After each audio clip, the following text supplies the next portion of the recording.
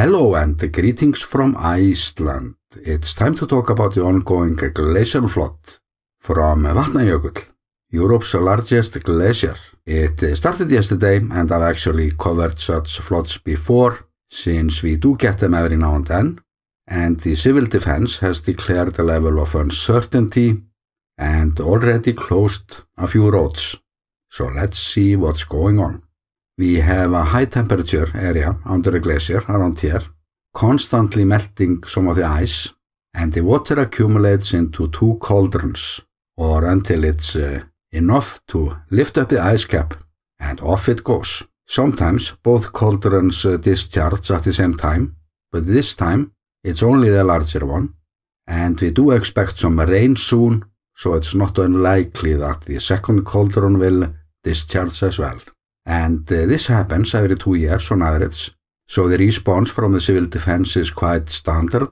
We know this process quite well. It's usually no major damage from it, but during some of the larger floods, the local farmers uh, can lose some land due to erosion. And uh, this time of year, the sheep are still grazing in the wilderness, so the farmers will need to uh, keep them at a safe distance because they tend to get stuck in the mud that comes with those floods. And as for those closed roads, you can see them on road.is, but you don't expect highway number 1 or the ring road to close. That is where this was shot last week.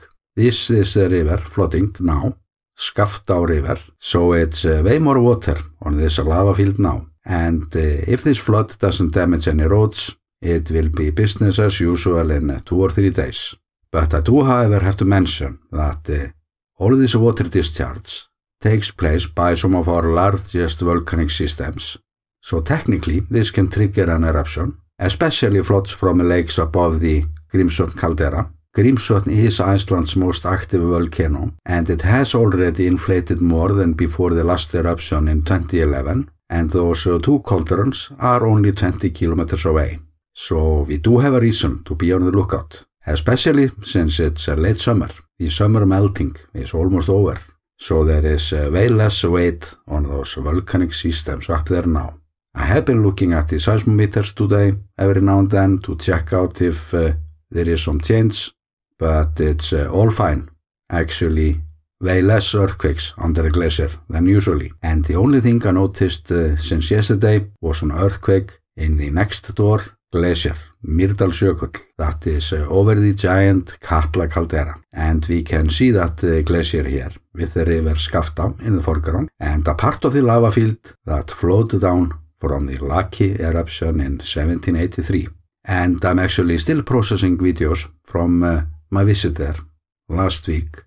I was filming uh, all the major systems and already uploaded the first video about that visit and I highly recommend that you check that out. And I'm not making this any longer now. I just wanted you to know that there is this chance that this could trigger a longer chain of events and of course to answer some of the questions that are already in my comment section. So with that, I'm sending you best regards from the volcano island, Iceland.